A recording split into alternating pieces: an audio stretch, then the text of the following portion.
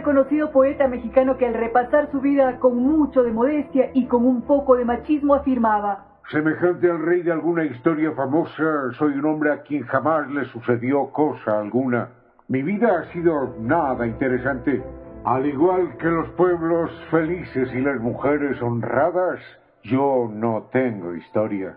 Quien eso afirmaba era Amado Ruiz de Nervo, más conocido como Amado Nervo, un hombre que se convirtió en la voz del intimismo y en un buscador obsesivo de lo que llamaba Dios.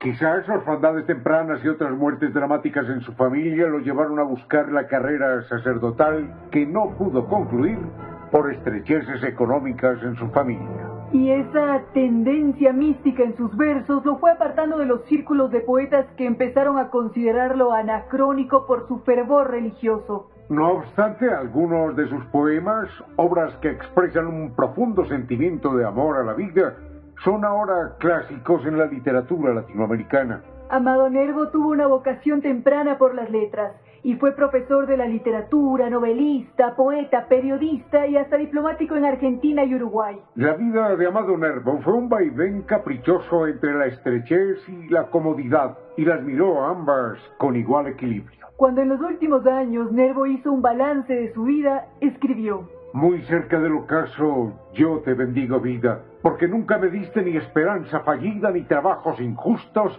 ni pena inmerecida, porque veo al final de mi rudo camino que yo fui el arquitecto de mi propio destino, que si extraje las mieles o la hiel de las cosas, fue porque en ellas puse hiel o mieles sabrosas. Cuando planté rosales, coseché siempre rosas.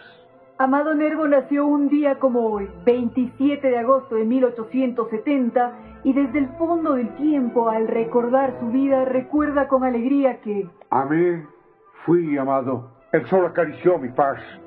Vida, nada me debes, vida, estamos en paz.